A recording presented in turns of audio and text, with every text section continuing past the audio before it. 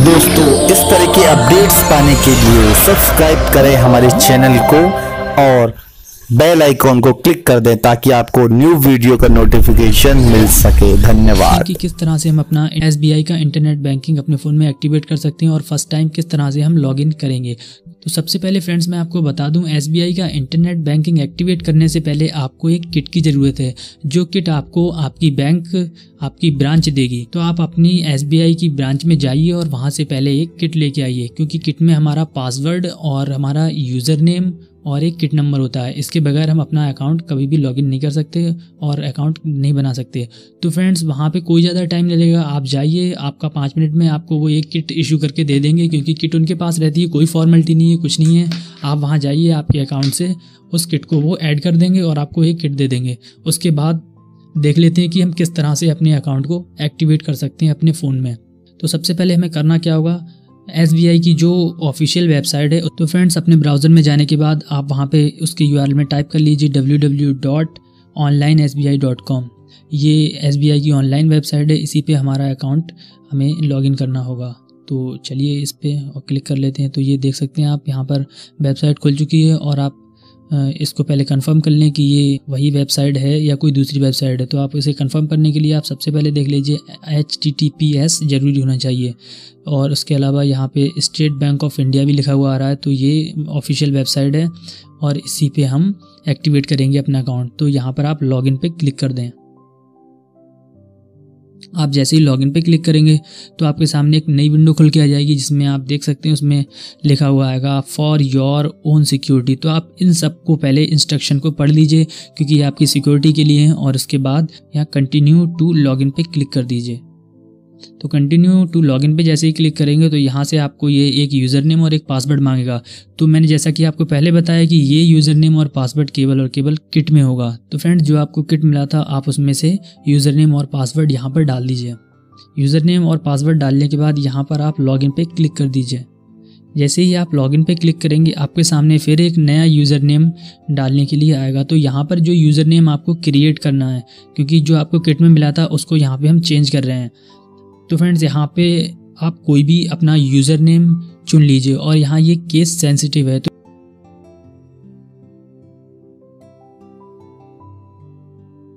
और check ability पे click कर दीजिए। तो जैसे ही आप क्लिक करेंगे, आप देख सकते हैं यहाँ पर ये यूज़र नेम अवेलेबल है, क्योंकि यहाँ पर यूज़र नेम अगर आपने गलत डाला तो हो सकता है कि वो किसी और का पहले से रजिस्टर हो तो यहाँ अवेलेबिलिटी होना ज़रूरी है। तो ये अवेलेबल है तो ये आप पहले पुष्टि कर लीजिए, उसके बाद यहाँ पर आप नीचे किट नंबर डाल दीजिए। तो किट नंबर आपको पहले मैंने बताया था, किट नंबर तो किट में ही होगा।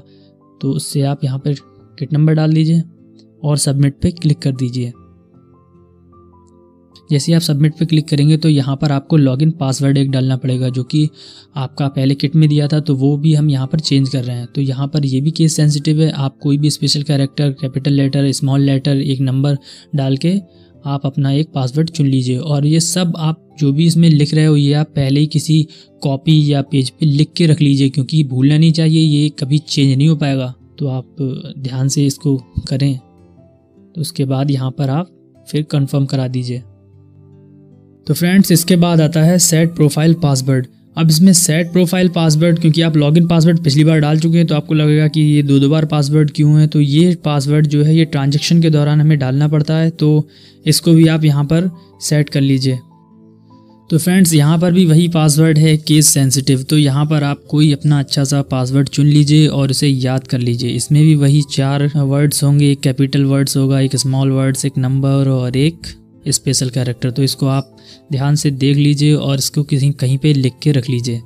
उसके बाद हमारे पास एक नया ऑप्शन है हिंट क्वेश्चन तो हिंट क्वेश्चन में क्या होगा फ्रेंड्स अगर हम कभी भी अपना लॉगिन पासवर्ड भूल जाते हैं तो यहाँ पर हम अपना हिंट जो भी है, हमारा क्वेश्चन हम रखेंगे, उसका आंसर डाल देते हैं तो भी हम लॉगिन कर सकेंगे। फ्रेंड इसके बाद हमारे पास एक और ऑप्शन आता है यूज़ मल्टीपल इमेज तो इस वाले स्टेप को आप छोड़ सकते हैं। अगर आपको इसको यूज़ करना है तो आप इसको भी यूज़ कर सकते हैं, लेकिन मैं यहाँ पर इसको यूज़ नहीं कर रहा हूँ। उसके बाद हमारे पास ऑप्शन आता है डेट ऑफ़ बर्थ तो आप इसमें जो भी आपकी डेट ऑफ़ बर्थ है, उसको डाल दीजिए। और डेट ऑफ़ बर्थ के बाद आता है प्लेस ऑफ़ बर्थ तो जहाँ पे आप पैदा हुए हैं तो उस जगह को आप डाल दीजिए।